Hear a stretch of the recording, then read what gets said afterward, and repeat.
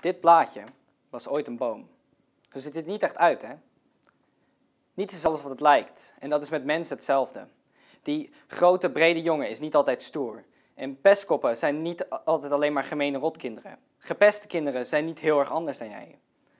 Vreemde mensen zijn niet altijd stil. En stille mensen zijn ook niet altijd vreemd. Denk eens na over hoe een standaard wiskundedocent eruit zou zien volgens jou. Beetje oud, grijs haar, onsportief en niet zo goed in uitleggen. Mijn wiskundedocent is alles behalve dat.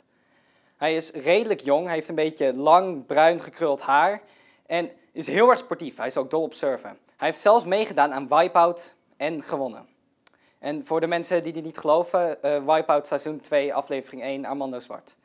80% van alle vooroordelen zijn fout. Zelfs de mensen die jij al jarenlang kent, hebben nog kanten waarvan je niks van af weet. Beeld je niet in dat jij zoveel mensenkennis hebt dat jij in één keer kan zien hoe iemand is. Mensen zijn net puzzelstukjes. De hele tijd op zoek naar een puzzel waar ze in passen.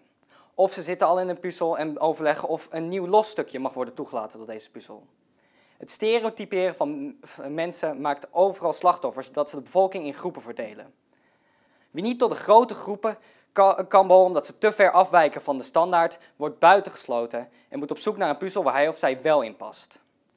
Als je die niet kan vinden, dan ben je raar of anders en word je automatisch door andere groepen geweerd. Dan ben je alleen.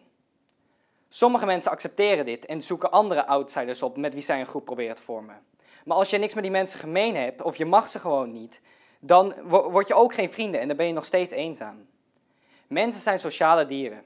Dat betekent dat we andere mensen nodig hebben om ons goed te voelen. En als je een tijd lang alleen bent, zonder de steun van anderen, dan ga je eerder negatief denken en eerder negatief voelen.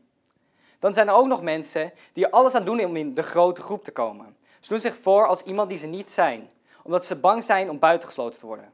Maar als je jezelf niet bent, wie ben je dan? Als mensen niet zo snel vooroordelen trekken, dan krijgt iedereen een eerlijke kans en zullen veel meer mensen een puzzel vinden waar ze in passen. En als je het bij het verkeerde puzzel probeert, word je eerder met respect behandeld en word je niet meteen buitengesloten. Als iedereen zonder vooroordelen met elkaar omgaat, zullen minder mensen eenzaam zijn en ze komen dichter bij een happy ending. Eeuwenlang dacht men dat de aarde een platte schijf was, maar de aarde was rond. En niet alleen rond, maar ook nog eens bol. Ik wil mijn leeftijdgenoten oproepen te stoppen met het stereotyperen van mensen, want niets is wat het lijkt.